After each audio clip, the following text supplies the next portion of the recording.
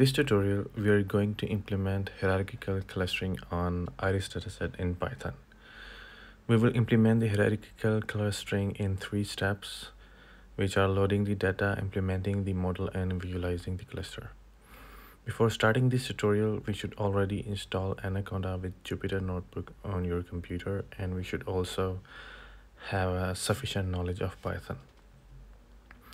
If you haven't set up Anaconda on your computer, I have provided the link of the tutorial on how to set up Anaconda with Jupyter Notebook on Ubuntu in the video description below.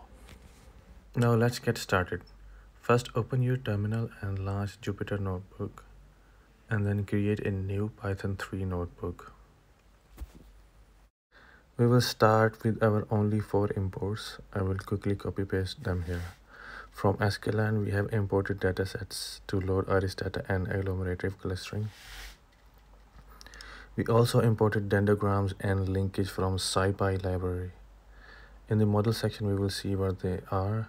And the last import is matplotlib for making plots. After imports, our first step would be to simply load the iris dataset.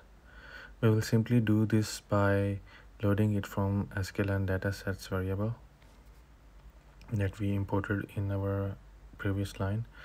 Then we will split the features and the labels in the iris dataset because we don't need the data labels for model implementation because hierarchical hierarchical clustering is unsupervised learning. After doing these two simple steps our data will be ready for model implementation. Our next step is to implement the model First, we will initialize our agglomerative clustering model with the parameters.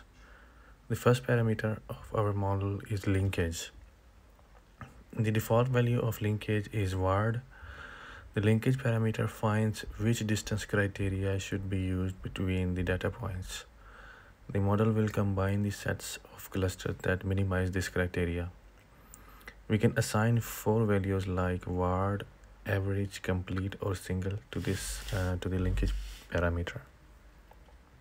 The next parameter is n cluster is which is equal to 3 i have randomly assigned the value equal to 3 which is how many cluster we want to find in the data.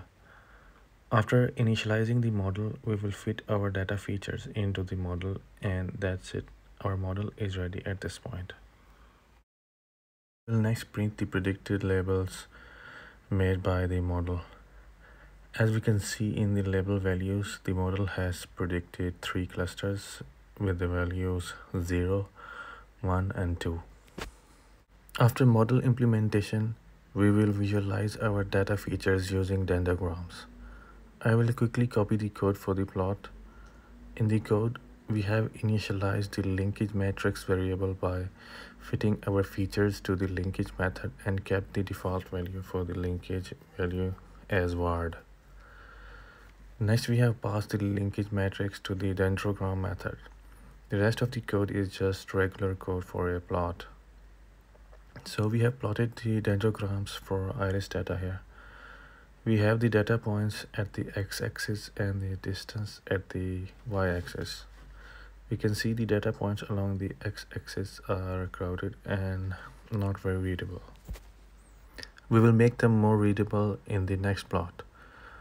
The main advantages of hierarchical clustering are that we don't have to presume any specific number of clusters beforehand like we saw in the case of k-means.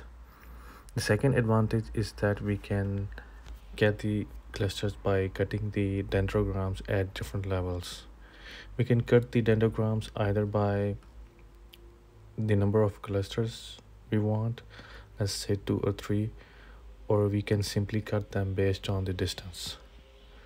If we want to have one cluster in the iris dataset, if we look at our plot, we can simply draw a line at the top as we can see the red line. If we want to have two clusters in our data, we can cut in the middle as we can see the blue line. Similarly, if we want to have three clusters in iris dataset, then we can cut it with the green line. Here we simply cut the dendrograms based on how many different groups we wanted to see in our data. We can also use these lines to make clusters based on the distance. If we look at the y-axis of our plot, we can say that we got one cluster at the distance 35, two clusters at distance 15 by blue line, and three clusters by cutting at the distance 8 by green line. In the next step, we simply made our first dendrogram plot neat and clean by simply using 20 data points at the x-axis instead, instead of putting all the data points along x-axis. So that's it. I hope you liked the video. Bye.